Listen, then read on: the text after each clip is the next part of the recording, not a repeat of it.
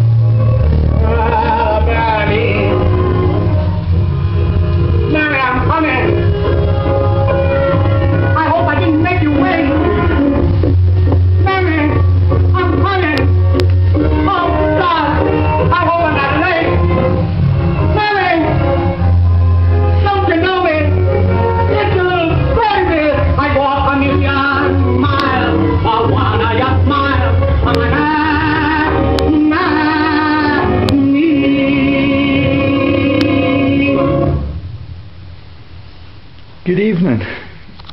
I've gotten bored with talking about world leadership and all of the jokes about Christianity and stuff like that, so I'm going to do some local gossip tonight and talk about the Dukes and Duchesses of Roxburgh uh, and their links to the Churchills and their links to the Mauretania and its launch and their links to the uh, McCalls or McConnells of uh, Monaco. Yeah, and all of that story about the mammy of the current Duke and the previous people that were locked away in the attic in the Duke of Roxburgh's castle. yeah, is tragic because one of them, one of his surviving relatives or in-laws in the marital sector, it's quite twisted in the elite sector in Britain. Yeah, but this is the story of Mary Innes Ker, Duchess of Roxburgh, 23rd of March 1915, one year into World War One, to the 2nd of July 2014, one month after my wife left me. Yeah, and all of the Dukes of Roxburgh and all of their families, when I first arrived in the region, think it's hilarious. yeah, because I'm a representative of the ordinary working man, and on their castle gates they have a picture of two cavemen with clubs, and that is a joke about ordinary working people and cavemen that are the people that are in charge of the world when God planted them on this earth. and that is the Esau story in the Christian Bible. And Esau's brother is a landowner and a farmer. Yeah, he's not a hunter gatherer like the caveman and like me, and that is the basis for the film that was made in Roxburgh Castle about the man who was Tarzan, yeah, loosed from Roxburgh Castle, and his parents went into the South Pacific and were the subject of a shipping accident. Yeah, those accidents occur because the monarchies and the elites in Lloyd's of London manipulate them. That's Lloyd's of London, who are the MacLeod dynasty, the MacLeods of Skye. Okay, they crash and sink the ships for profiteering reasons. Okay, so this woman who was the Duchess of Roxburgh, yeah, died last year. Quite stunned when I learned that, because I knew all about her husband, who has no reputation at all in this region. Quite an evil man. The Duke and his wives, both of his current wives, uh, or his former wife and his current wife, who I thought was American until a few weeks ago, yet they're ever so clever at manipulating their public profile. Okay, so that's the Innes Kers with one R that we talked about already. Duchess of Roxburgh from 23rd March 1915 to the 2nd of July 2014. I never heard anything in the newspapers or the media or even the local gossip about the death of this woman. And her name is linked to the history of my own family and the departure of my sister to a place called Crewe in Cheshire, which was also a crime scene for my wife's family, because that is where my wife's family, the Hancocks, asset stripped the British railway system in league with the man called Beeching. And the Beech characters in the elite Downton Abbey movies and uh, stories that are told on the telly yeah, is usually the butler.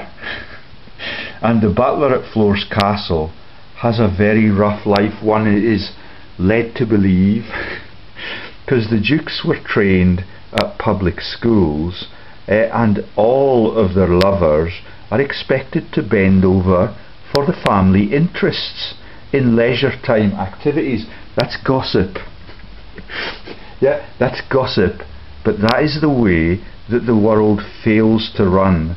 All of it makes them coercible. All of it makes the family resentful about what happens to them in the bedroom.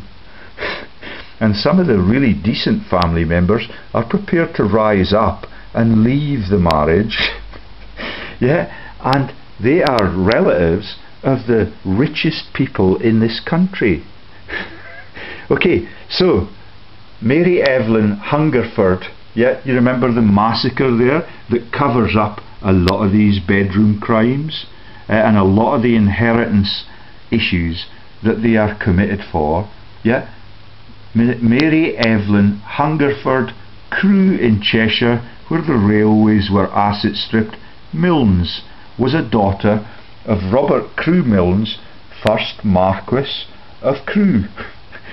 yeah, by his marriage to Lady Margaret Etienne Hannah Peggy Primrose, daughter of Hannah Primrose, Countess of Rosebery. Now this is big power broking. You know who they are?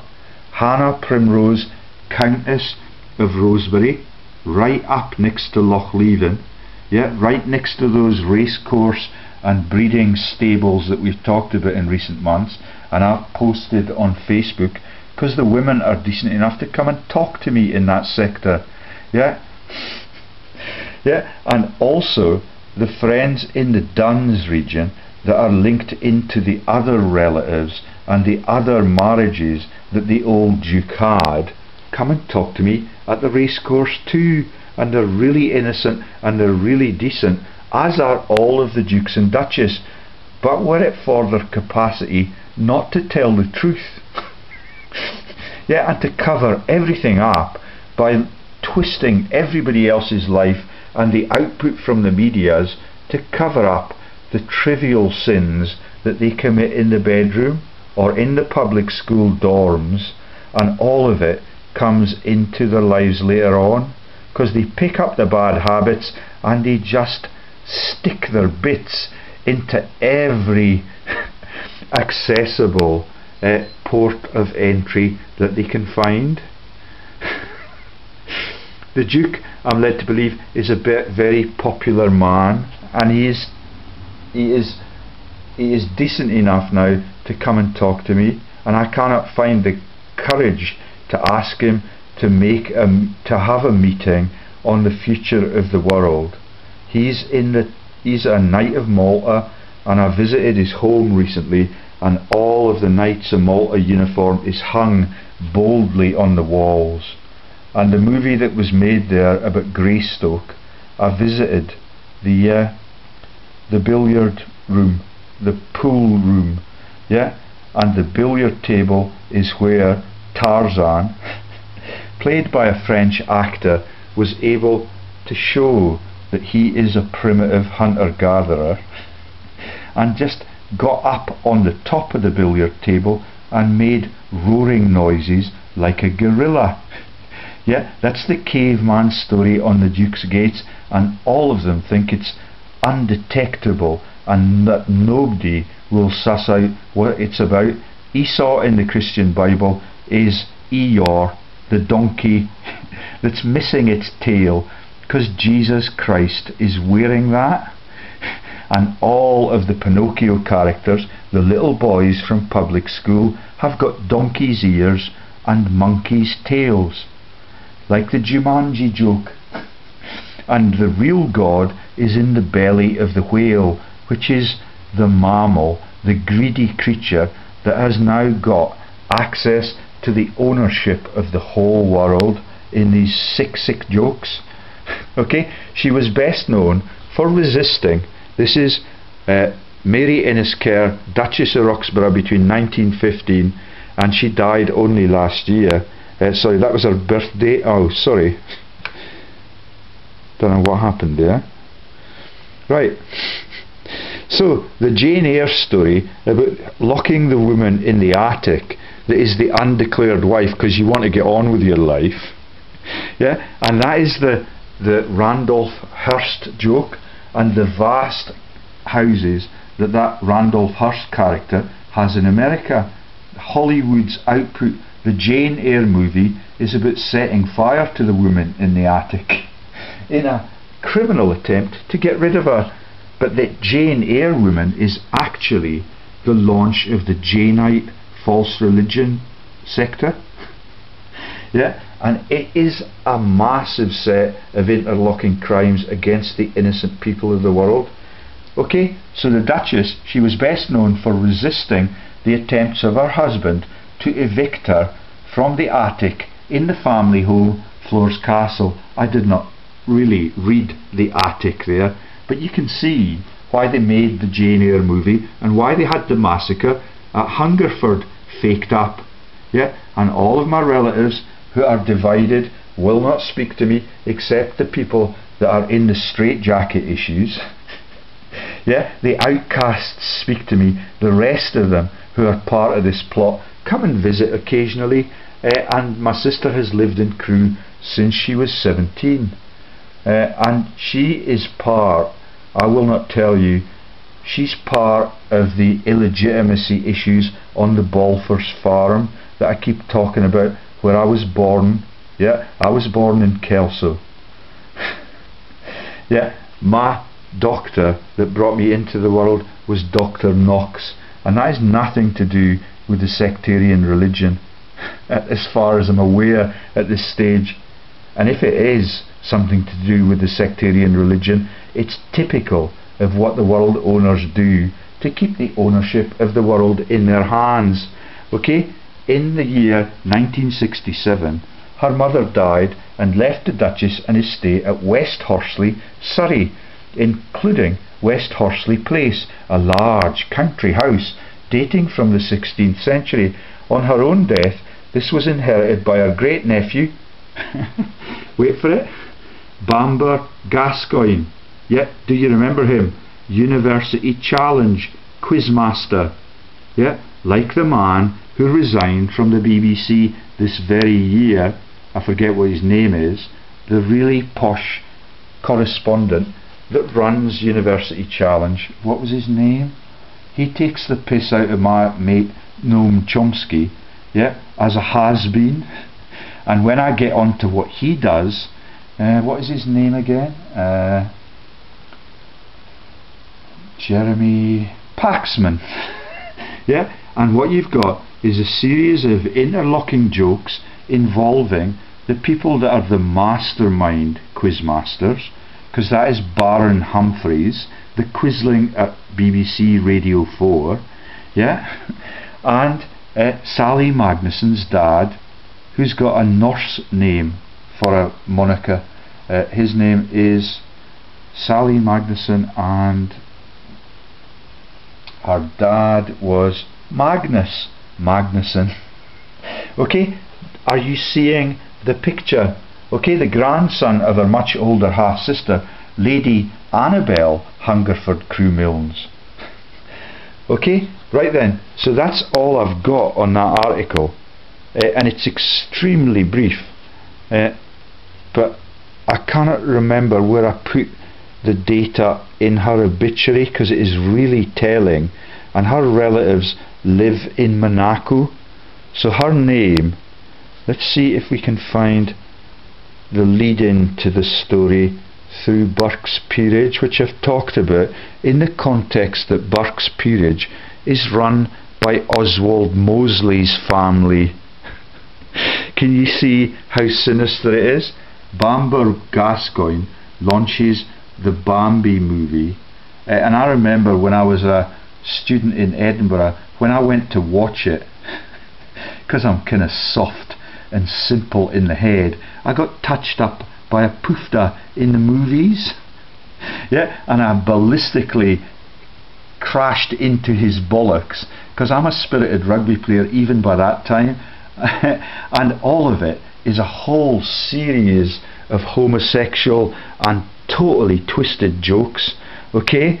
So, this woman was married to George Innes Ker, 9th Duke of Roxburgh. I'm going to take you back to the previous OneNote site and see if we can find him. His nickname is Bobo, and he looks just like Hitler with the little sawn off moustache. Let's see if we can find him.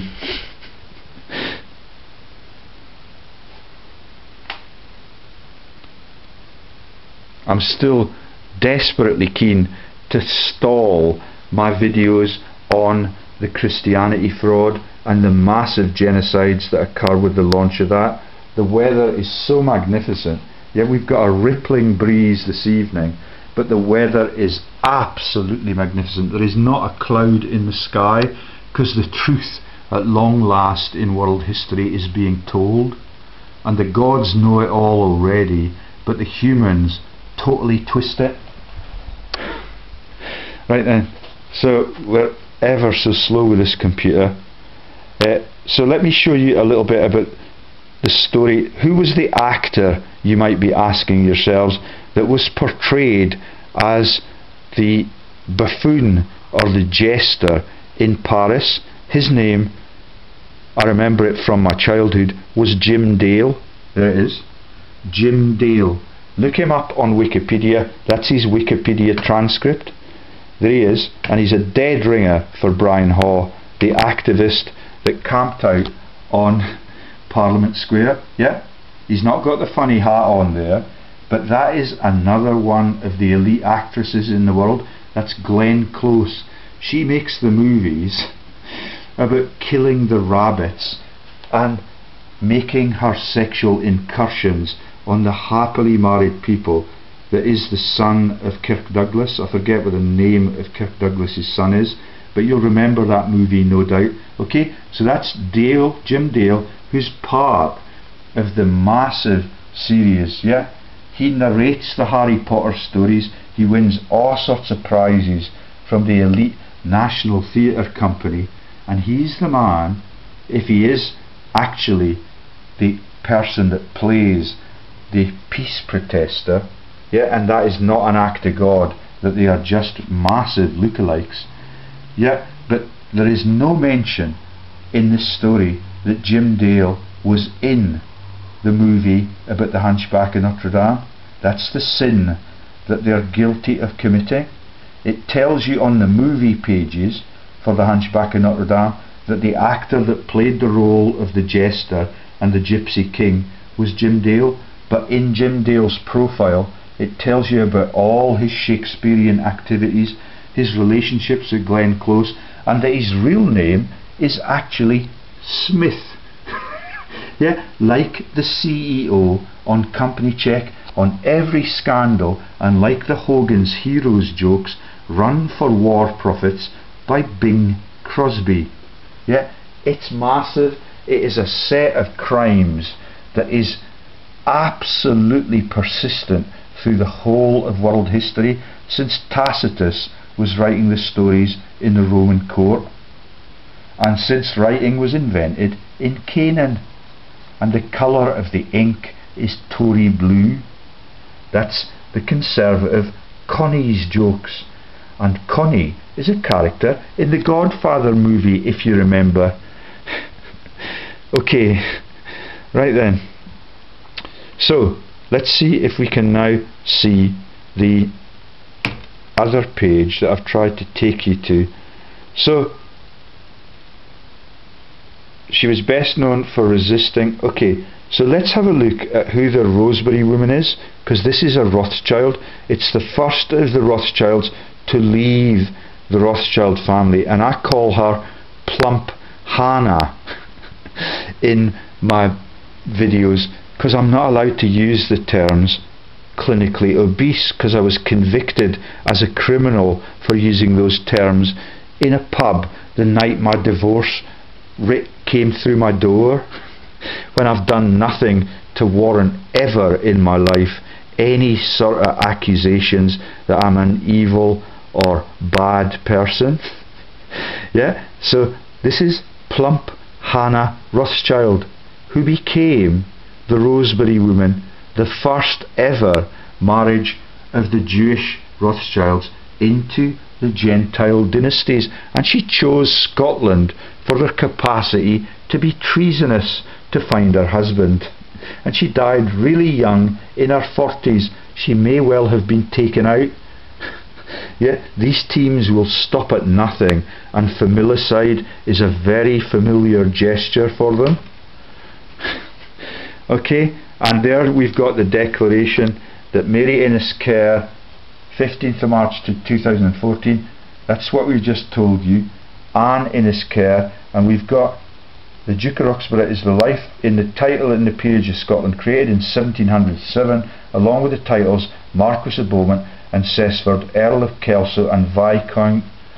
Uh, and I cannot see in that. Oh, here it is. To the right. Okay, so Mary Innes Ker. There's the stuff on the Crewe Milnes character again, the Hungerford links, and there she is.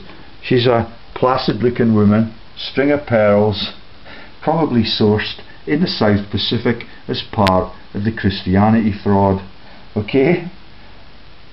And she's got links to the Hungerfords and the Crews. Uh, 9th Duke of Roxburgh was her husband, and I cannot get in this tab. Let's have another look for Bobo. yeah.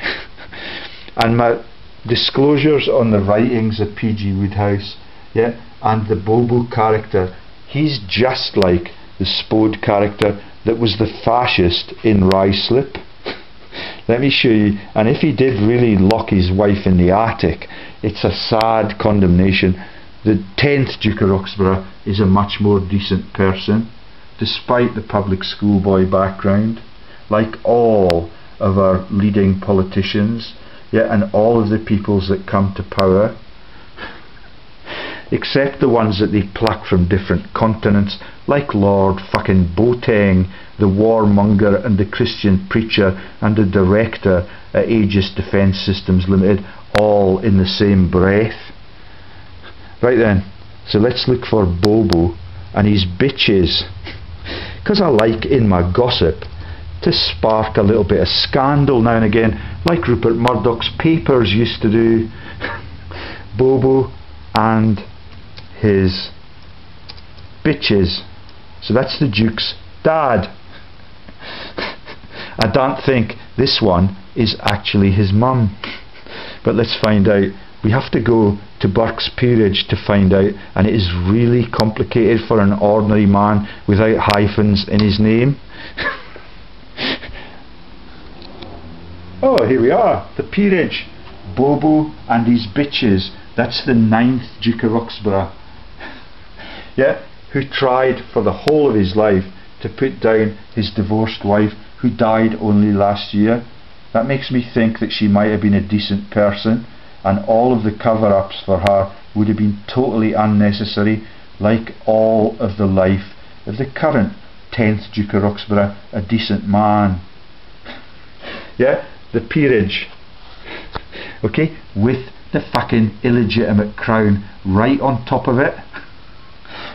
Right then, so let's see if we can make that broader. I doubt that we can. No.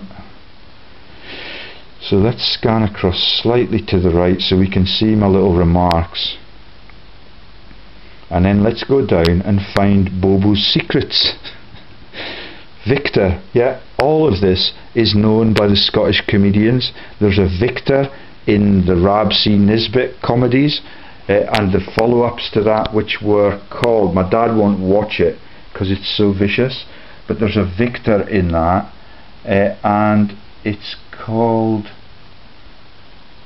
Uh, no, I can't remember the name of the comedy follow up that followed on from uh, Rab C. Nesbitt, but this is George Victor Robert John Innes Ker, 9th Duke of Roxburgh, the current Duke's dad. Okay, person page on Burke's Peerage 246. Remember, Burke's Peerage was written by the fascist children or nephews of uh, Mosley, the fascist supreme in World War II. Yeah, and all of the person, the person who worked in the War Office with 60,000 non-combatant profiteers in his team. That's the War Office. Yeah. Oswald Mosley, the world's leading fascist, who sparks the wars because of his speech making, yeah, and all of him and all of that activity takes us into the Formula One sector that we've discussed in detail in the last two videos. Okay? Uh, and the name of the comedy in Gleski is Still Game, Still Game for a Laugh. Okay? Look at the Hitlerian, Hitler-like moustache and the Spode-like postures. That's Spode in the PG Wodehouse. Yeah, he's a traitor in wartime, a dual British American citizen, and he fucks off to America to write all of these novels.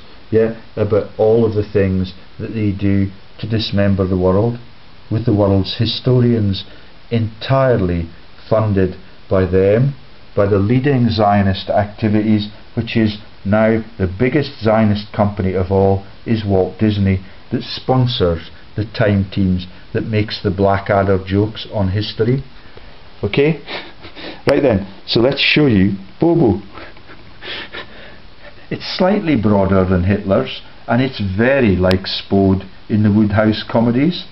Okay? Just the puppet for the childless first marriage to the Rothschild's family member. Okay? So the woman that we're talking about may well be uh, the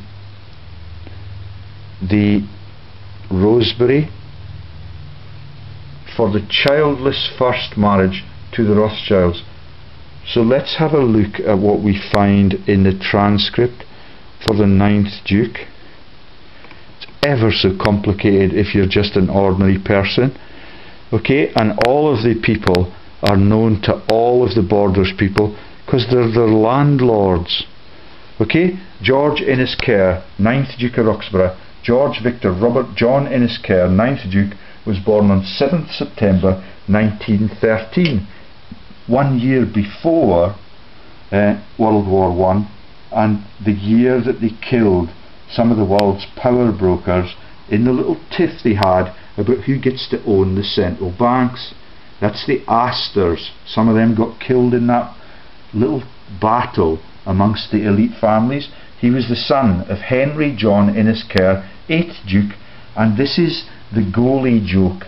Yeah, and I cannot find the tabs for the goalie joke because the goalie joke takes you into Ronnie Simpson, who played as the goalie for the Celtic football team, and that's the Simpson name that is so infamous in fascism. And Ronnie Simpson was my greatest hero in life because I was a Celtic supporter in those days, but now I understand how the whole of the sporting profile is made up to cover kings and queens and dukes and duchesses and knights of the Order of Malta. All of them are there to cover the sins of the world's elites that will not let us take the last step to civilization. He married firstly, yeah, the woman that we've just talked about, Lady Mary Evelyn, Hungerford Crewe Milnes, daughter of Sir Robert Offley, Ashburton Crewe Milnes, first and last. Yet the bloodlines are fragile. She died in 2014, Marquess of Crewe and Lady Margaret Etren Hannah Primrose. Okay, on 24th October 1935. So that is the Primroses that were married into the people that live up near uh, the fault line at Dunblane and Loch Leven, where Queen Mary was put on the island before her head was cut off. yeah, by her cousin in England. Do you get it? That's Queen Elizabeth I, the woman that launched the, uh, the discovery process of tobacco, and that's British American tobacco launched by Sir Walter Raleigh in his cami knickers.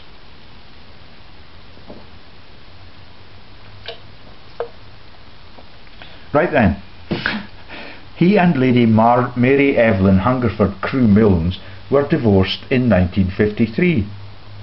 Now, wait for it, because this takes you into Monaco, it takes you into Melrose and Porteous, and it takes you into Duns, where the motor racing sector comes in through the man that is the local hero at Jim Clark.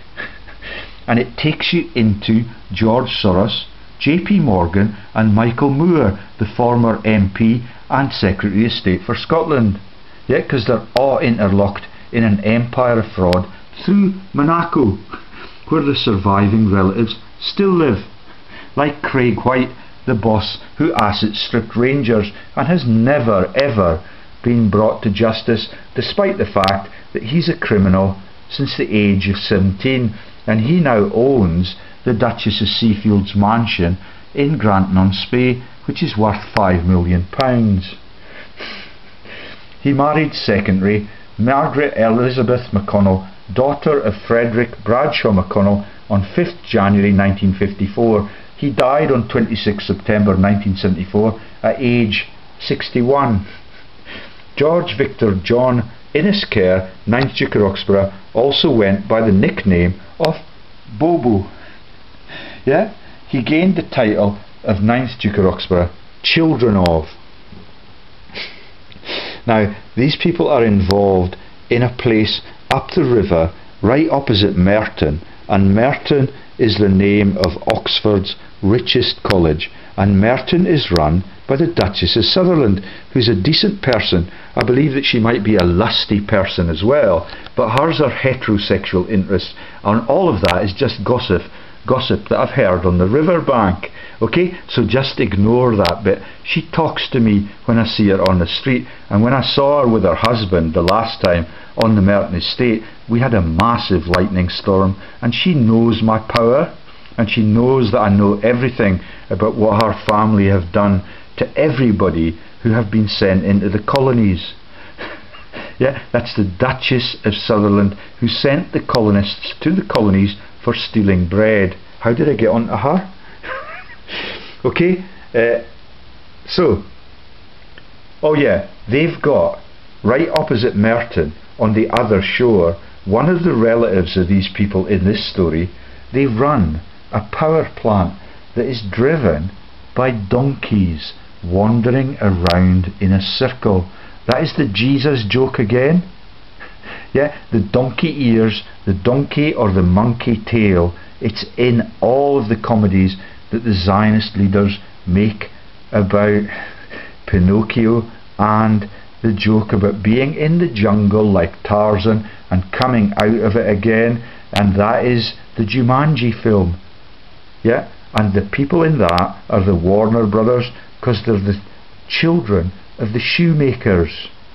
And they are the children of the shoemakers include Archbishop Hoodle, and I keep telling you the same stories. Hopefully, they're now beginning to come home to roost between your lugs.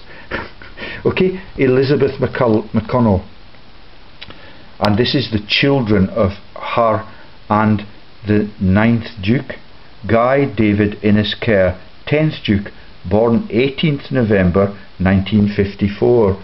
When I first arrived, he would not speak to me in London when I first met him down there. I said, You're the Duke of Roxburgh, and he said, Are you the press? He would not speak to me. He was having our first child, his first child, with what I thought was the second American wife, but she's actually British. And the links take you into Derby, where Gordon Bowden is loyal to the cause. yeah, despite all the fusses he makes about the bitches that falsify the passports.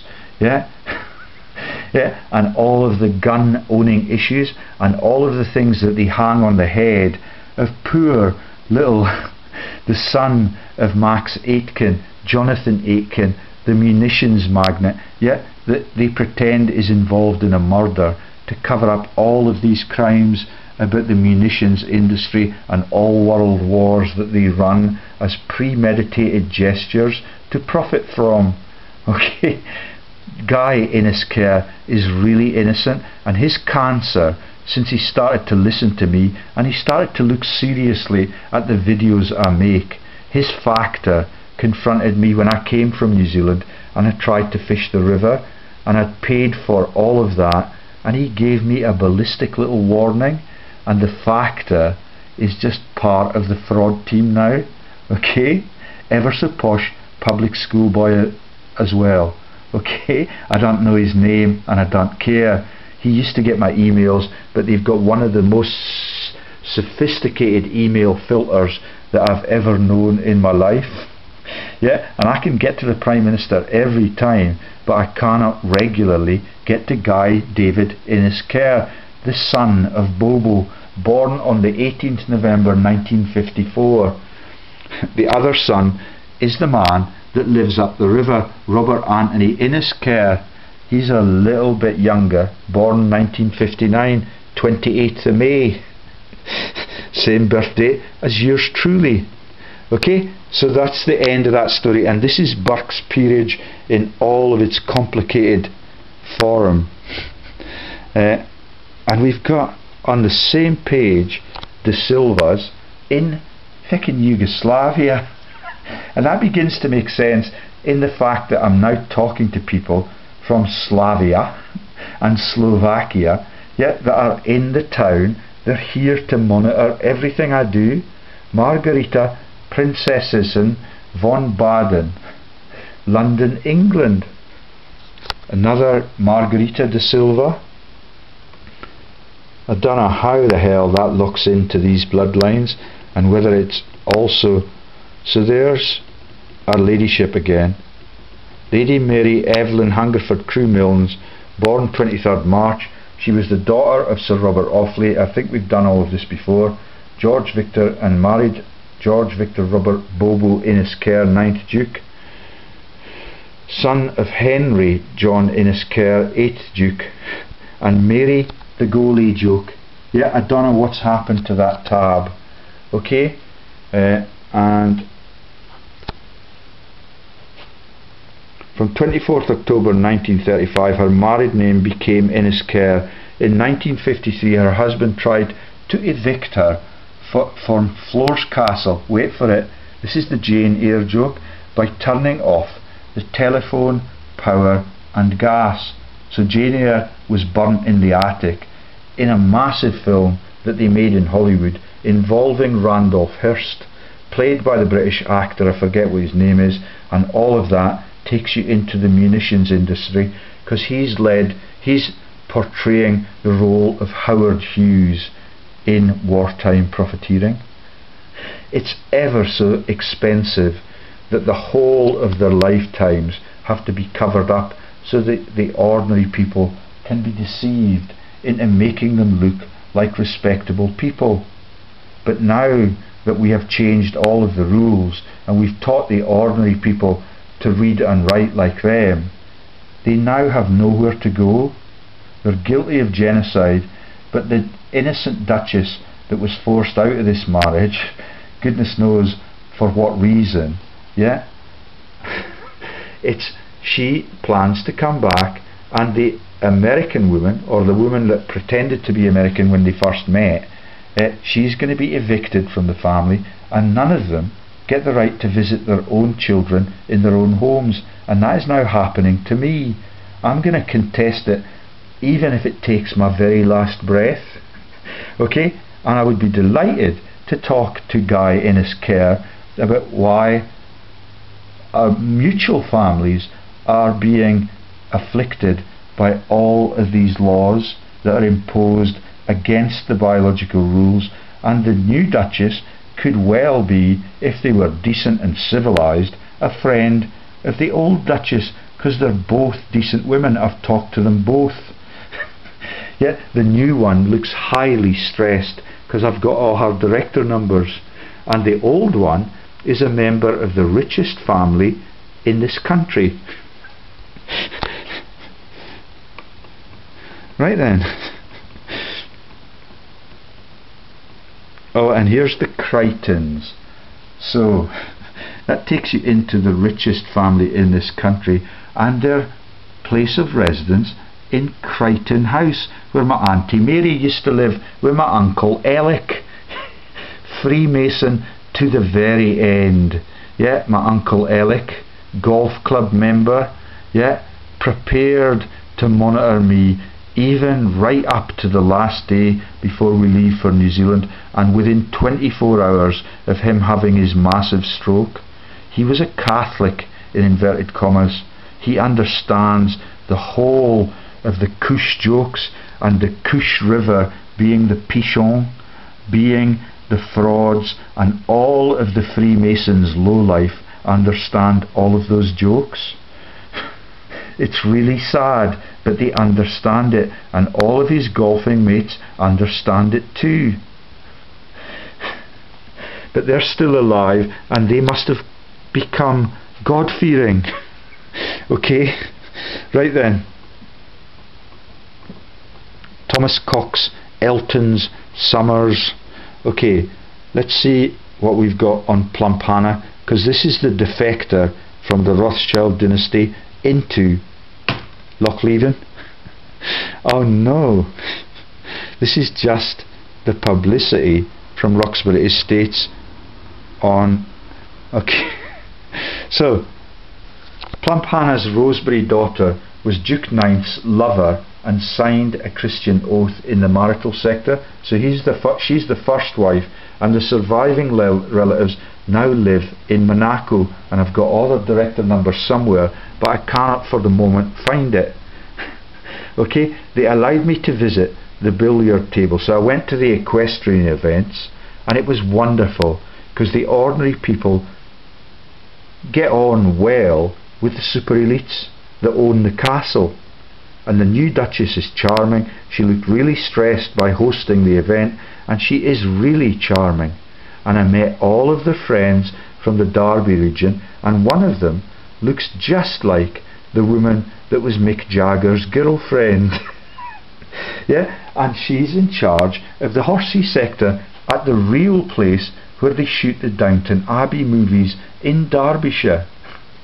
I don't think it's the Downton Abbey movies. I forget what the name of the estate is down there. Okay, the new Duchess has a way with the visitors and works like a slave under a huge stress burden which is totally over the top. Yeah, do you get that? That's OTT.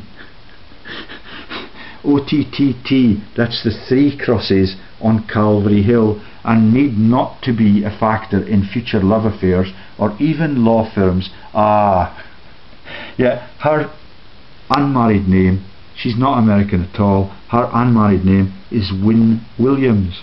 And when I look for that on the internet and in the business records, guess what I find? It's the Law Dad. It's a law firm in New Zealand where I came from called Wynn Williams. They are all decent law abiding people and I will make that count. Only the Duke can fish upper floors. A joke about the domestics on a Saturday. Okay, when I went to upper floors at that equestrian event, because I got bored with it over time, because all of it is the same thing for three days back to back, and the youngsters love it, and they become addicted to the horses for the whole of their lifetime. Yeah, and that is the Piso Hippos joke again. The equestrian sector is the elite sector because they can afford the ownership of horses, and that is the joke about the Piso name embedded in the word hippos. Okay, the statue near the no entry sign is revealing, but I get dyslexic when everybody has to pay. I'm not sure what that is about. Uh, and when I visited the fishing hut on upper floors that day, we, it was one of those gusty, windy days, the beautiful bright sunlight, but really immense gusts of wind. And I approached the fishing hut, and I've got a video of this and I might as well publish it because it's no secret. When I approached the fishing hut, one of the gusts blew two of the 14 foot salmon rods off the rod rest and turned them completely upside down and the rod rest support was fallen over in that one massive gust of wind as I approached the fishing hut. And when I got to the sign under the willow tree, yeah, that's the foot of the willow joke, yeah, it said that this was a sign and a tree that had been planted by the Duchess that is part of the Duke of Westminster family. okay, and that is Lady Jane, the first Duchess. Okay, I don't know why they divorced. Yeah, but she's not allowed to visit the castle where her own children live, and she will. They will be the next dukes. Yeah, one of them married into the Jonathan Aitken dynasty, and that is the Max Aitken and all of the fascist stories that I've just told you about it. The Duke now fears my power base like the Duchess of Sutherland. I know everything about their family histories, yeah, and I know all of that makes them God fearing. And the Duke's cancer has gotten much better. And he even treats his neighbouring dukes, like the Dukes of Northumberland, better. Reputed to be strong rivals, yeah. I don't believe a word of that.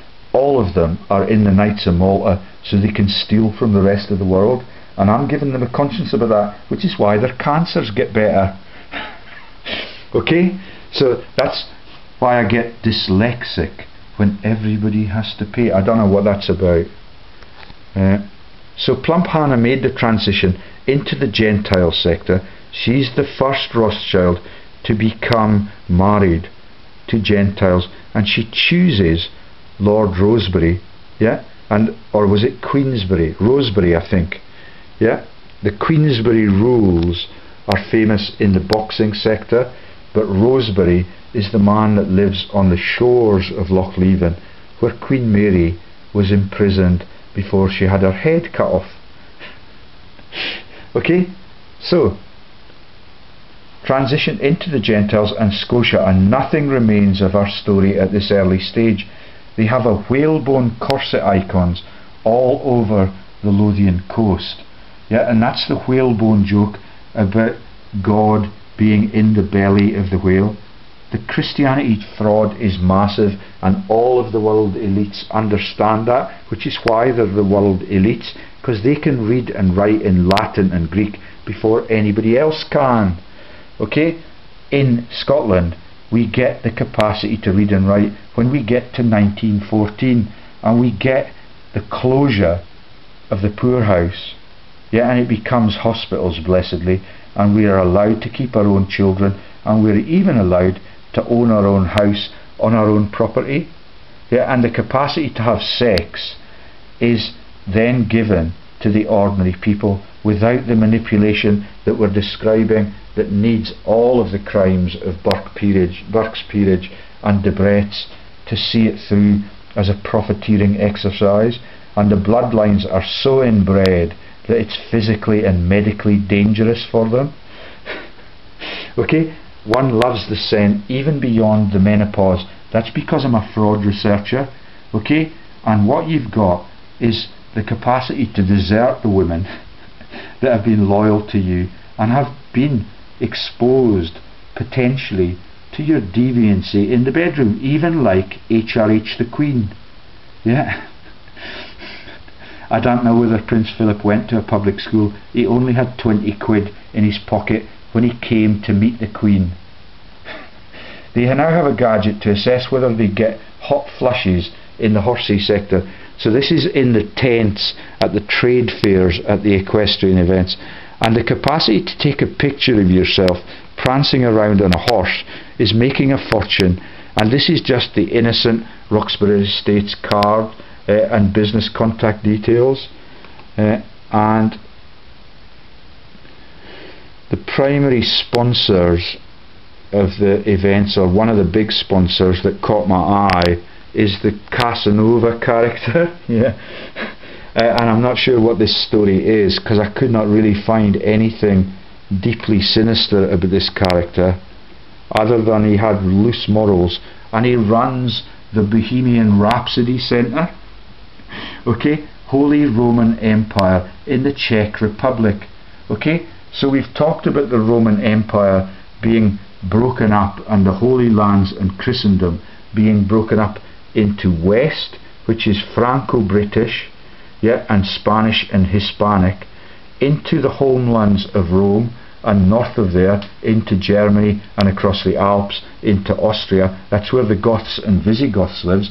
And across in the east, we've got the Holy Lands, but we're also getting Christianity further north now into Bohemian Republic. That's where the Pope was in the Great Schism when they were immune from the plague, and that's the Bohemian Rhapsody song. Okay, I don't think I've got any comments on the history. Oh, this guy is from Venice, and that is part of the Holy Grail quest for Indiana Jones. But I cannot see anything logical or particularly threatening about that. But I've looked up the Casanova companies, uh, and they're just money lenders, like the people that Jesus the fictitious character warned us about.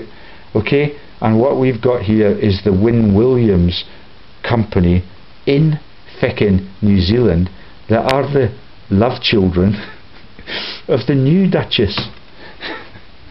okay?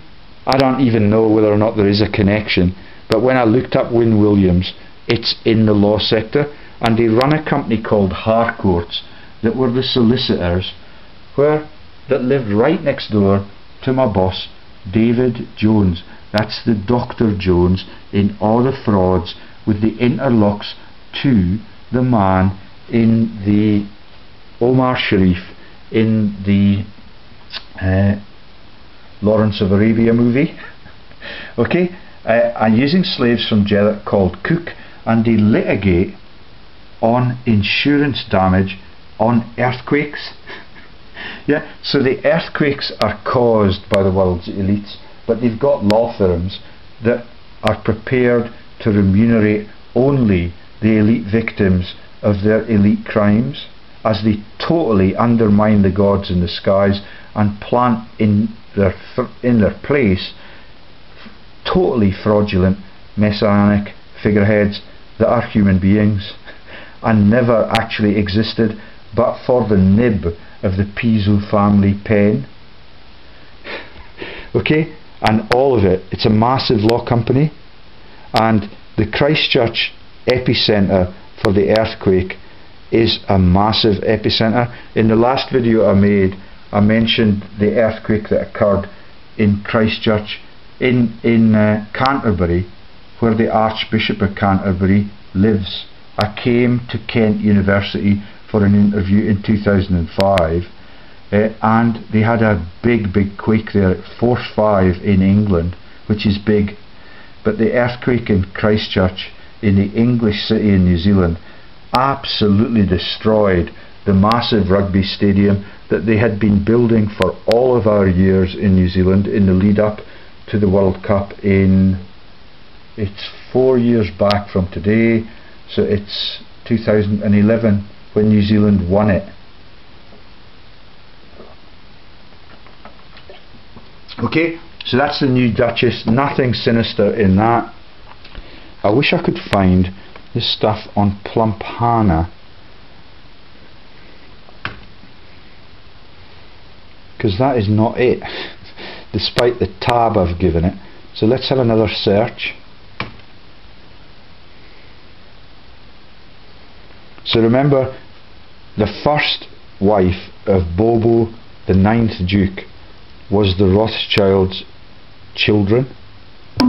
Yeah, so the female person who escaped to become the Jewish member of the Rosebery family, yeah, that means that the Rosebery family become Jewish in the laws that the Jews use, which is a master plan to take over the whole of the religious world. Yeah, if you're the female gender and you marry a Gentile, your children become Jewish. It's really, really clever. And that takes us in the Duke of Roxburgh's family back to one of Winston Churchill's relatives. I can tell you that story. So let's see if we can find Hannah Rothschild.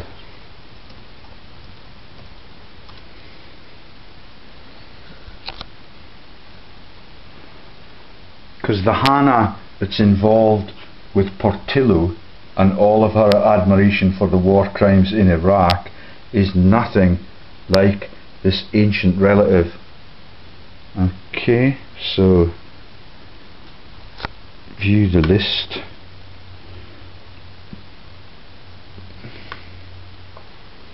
Hannah Rothschild defects.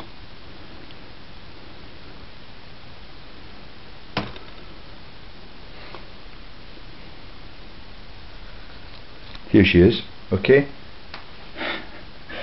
So there are references to the biggest law firm in the world, McKinstry, uh, and that is Wouters Cloyters. This is Hannah Primrose, Countess of Rosebery, the mum of the first wife of Bobo, the ninth Duke of Roxburgh. yeah, the first one outed by the Jewish Rothschilds, and she chose Scotland for its capacity to commit crimes against its people, presumably. But because she died at 40, she may have been relatively innocent and may even have been taken out by the rest of the family, like the one that had the zebras pulling the trucks in Tring. okay, and we've got a lot of tabs in that list. I'm not sure what else is in that. Uh,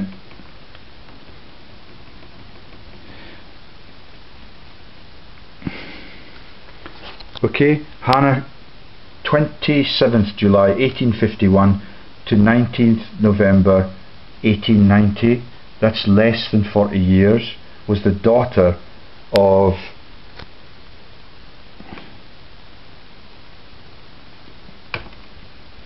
Mayer de Rothschild and his wife Juliana née Cohen, the high priests of Israel since Aaron in the second chapter of the Bible married his own sister to keep the bloodlines integrated and Jewish. So this is a big adventure for the Rothschild family and the high priests of Israel and they choose Scotland because the people up there are really pliant. Okay, uh, and we've got the Epsom Derby mentioned uh, and I'm going to take you straight away from that so I can introduce you to Winston Churchill's relative that launched the Mauretania and was the Queen's equerry when we went into World War One. I. I need you to know that story. That's Winston Churchill's auntie. let's see if we can find her. Uh, and let's search for the Mauretania. Have you heard of that? Big civil ship. yeah, launched by the Duchess of Roxburgh when she was a Queen's equerry and she refused to take part in the Queen's equerry strike when Irish people refused to be pulled into World War One when the British commanded them to become the victims of that scam.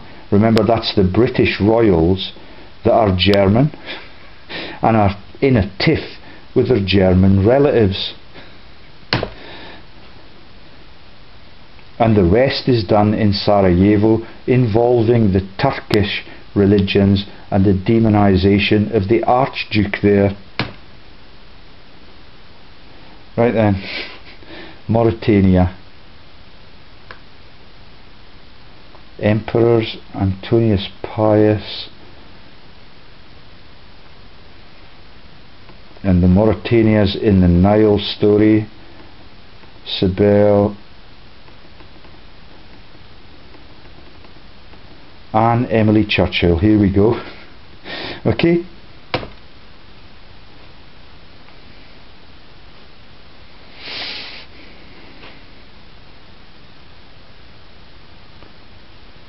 So the historians at the castle were able to tell me a lot about these people uh, and they knew about the Churchills. I don't think they knew about the Rothschild connection. Yeah, and the Monaco thing is an official secret and I cannot find that tab where I've got all the details, but it takes you into the McConnells, and that becomes the family that launched the new Scottish government. It's massive, yeah, and that is the links to the in the interlocks with the McConnells and the people that are the directors at Melrose and Porteous in Duns, yet one of the quisling law firms that is asset stripping our whole country with the total consent of governments on both sides of the bloody English Scottish border. Yeah? they are able to run massive money laundering schemes condoned and run by the Law Society in Scotland. Okay? And that's got links into the Parliamentary Foundation for Democracy, George Soros, JP Morgan, and all of those things that I've told you, and all of the divorce solicitors shrink away from it because all of their companies are totally corrupted. And the new sheriff at Jedburgh has previous the Morton companies that link you into Desmond Morton and the double agents in World War II. okay, right then. So, Anne Emily Churchill, why is it not opening? Ah, here we go. Oh, and this is the whole history of uh, of the floors dukes. So we've got 8th, 9th, 10th and 11th, which is the Marquis, the young kid. Okay, and I believe that he might already be married into the uh, dynasty that is the dynasty that was run by uh, Lord Beaverbrook and is now Max uh, Jonathan Aitken's uh, relatives. Okay, it's amazing. All of them get married for the power base, and the disloyalty, even within the marital group, is massive. And that is a facet of life that every sector of society has to cope with. And ABBA were torn apart because it's declared that that's appropriate. If you have a long and loyal marriage and you spawn innocent and decent children, that's a real threat to these people. Which is why I would love to talk to Lady Jane, yeah, the mother of most of the Duke's children and the heirs to his estate. I know that she can be given a conscience, even although she's filthy rich and she loves to be popular. And the fishing rods were completely unscathed, and it said on the sign that she planted the massive tree that the sign was at the foot of. Okay, right then. So, this is I, Anne Emily. Our gravestones at Kelso Abbey. Yeah, they've got their own burial plot. She only had an OBE her lifetime spanned 1854 to 1923, which is 69. Was born Emily Anne Emily Spencer Churchill and was the daughter of the 7th Duke of Marlborough, who served in Conservative governments as Lord President of the Council and Lord Lieutenant of Ireland. yeah, hot sectarian ground for the inner circle her brother Lord Randolph Churchill was a Conservative Chancellor of the Exchequer. I believe that might have been uh, Winston Churchill's dad. yeah, and you know who the woman was now because of yesterday's video. Jennie Jerome, at least 200 lovers. yeah, I felt really sorry when I was told the uh, story about the Duke of Roxburgh's butler and how rough his life is. But I was told that story by someone who may have been interlocked with Fred Goodwin on the uh, RBS crimes and is very closely linked to me and my family. Yet the in-laws are ever so deceitful. On the 11th June 1874, Lady Anne was married to James Henry Robert Innes Ker, Marquis of Bowmont and Cessford, eldest son of the sixth Duke of Roxburgh. He succeeded his father as the seventh Duke of Roxburgh in 1879 and Anne became the Duchess of Roxburgh. In 1883 she was appointed Mistress of the Robes to Queen Victoria. That's the illegitimate Queen Victoria. Yet all of her children were sired by two of the Rothschild family members that Fat Hannah was married into. Yeah, and that is the wives of the Rothschilds are the Baron Cohens or the Baron Cohens, depending on which twisted version of their history you want to believe, and that is the Ali G cover. okay, she was appointed by the Liberal Prime Minister William Ewart Gladstone and served in that capacity until 1885. In 1892, when Mr Gladstone again came to power, his policy of Home Rule for Ireland had alienated many of the upper classes, and no lady of ducal rank could be found willing who was willing to serve as mistress of the robes. Their post therefore remained vacant, while the Duchess of Roxburgh and the Dowager Duchess of Atholl, yeah, Now that is Blair Atholl, where Glamis fucking castle is. And I've got relatives up there, and so has Nick Clegg, and so has my wife. And I've seen the letters from my wife's brother's cousin in the massive place that is Perth in Western Australia, revealing all of that. Yeah? I don't understand the intimate details of my bloodline, and I don't give a fuck I want democracy to thrive and the funding for democracy to be given back to the nations that is entitled to have it. Yeah, and that is the funding that comes out of the central banks that all of the Rothschilds, yeah, all of them have stolen from every country on our globe now. Okay? In 1906, she was the Duchess of Roxburgh who christened the newest and largest ship then in the world the Cunard Line's RMS Mauretania. She was the aunt of Prime Minister Winston Spencer Churchill, the son of her brother Randolph. Okay? So do you see the might of the marriage? And because that's the Jewish connection again, the Roxburghs become Jews. I don't know whether or not they have a synagogue in the castle.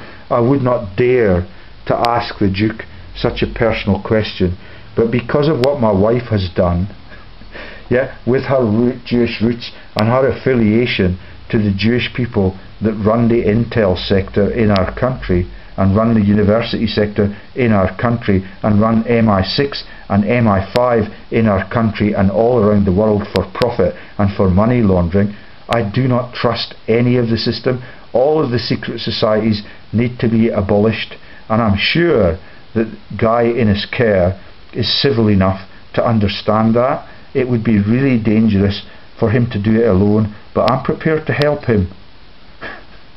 yeah, and he knows that.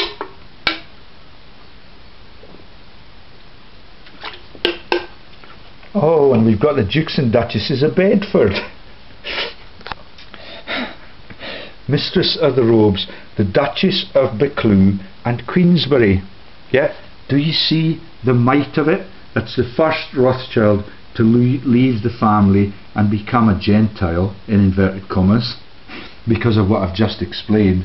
And that's the Dukes of Buccleuch, yeah, that run the show in Haddington, in Selkirk, in Norfolk, all across England. They are also known as the Montagues. Uh, and Sarah Montague appears to have defected from Radio 4 unless she's on holiday.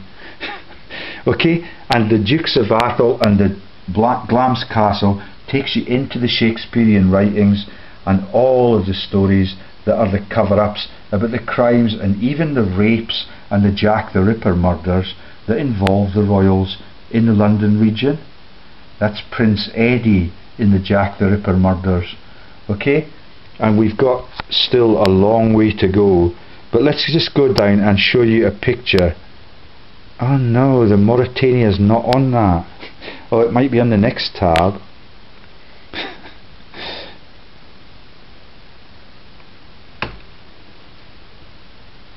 ah, the Mauretania, isn't it lovely? I don't think they sank that one.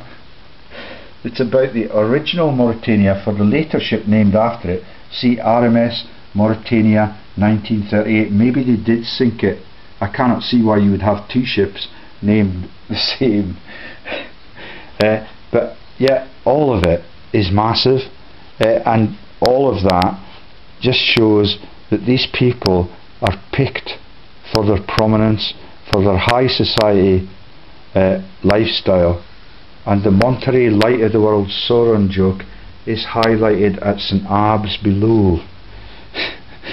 so the Monterey Light of the World joke is a lighthouse on the the mountain called Mount Diablo and Monterey is where the devil in the Devil's Advocate movie declares that uh, it all happened in Monterey a long long time ago that's on the far west coast of America and the lighthouse there is the equivalent of the the devil the Sauron's eye the all-seeing eye uh, for the Lord of the Rings demon that is the owner of Middle Earth. and all of it is a cover because it's written in Merton, Oxford's richest college. Yeah, and that's Merton that is accompanied to the issues that the Duchess of Sutherland gets the lightning storm for when I meet her on the river bank. Yeah, and my dad is kicked out of their fishing syndicate by people that are relatives of the Duchess of Roxburgh. That's the elder brother of the current Duke. I forget what his name is. Uh, his name is Church. yeah, like the Churchill joke. Yeah, I think I'll stop now because it's quite sickening and I don't like the gossip and all of the people are really nice and were it not for people like Prince Philip and the MI6 pressure that they have on them the, the whole world could be decent and innocent and talk openly to all of its neighbours without carrying a gun or threatening them with a nuclear warhead. Okay? Decommissioned on the 4th, built on Tyneside. Yeah?